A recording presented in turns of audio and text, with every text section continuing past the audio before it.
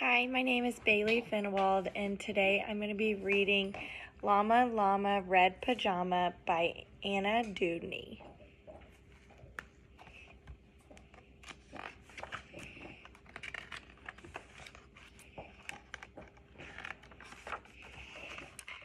Llama Llama Red Pajama reads a story with his mama. So he's reading the story. Mama kisses baby's hair. Mama llama goes downstairs. Laying in bed. Llama llama red pajama feels alone without his mama. Baby llama wants a drink. Mama's at the kitchen sink.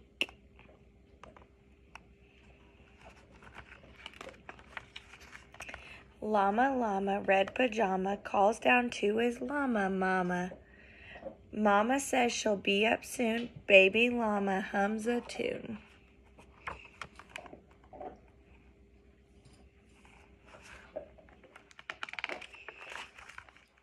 Llama Llama Red Pajama waiting, waiting for his mama. Mama isn't coming yet. Baby llama starts to fret. See him worried down there. He wants his drink.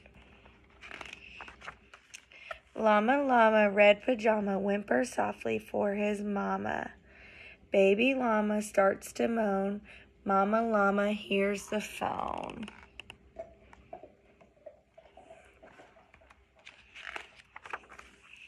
Llama Llama Red Pajama listens quiet for his mama. What is Mama Llama doing? Baby llama starts boo-hooing. Oh, he's crying. Llama llama red pajama hollers loudly for his mama. Baby llama stomps and pouts. Baby llama jumps and shouts.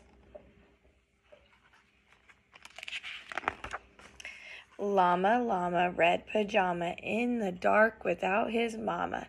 Eyes wide open, covers drawn.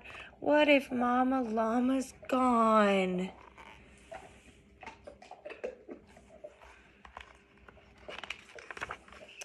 Llama Llama, red pajama, weeping, wailing for his mama. Will his mama ever come? Mama Llama, run, run, run.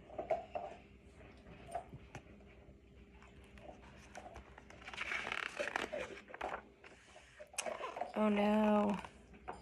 Mama Llama's running.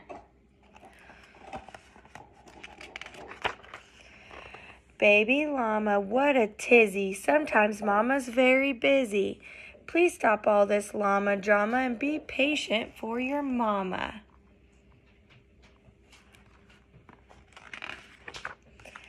Little llama, don't you know? Mama Llama loves you so. Mama Llama's always near, even if she's not right here.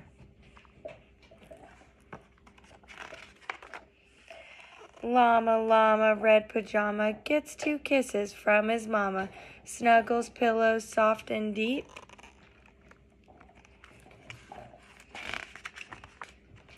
Baby llama goes to sleep.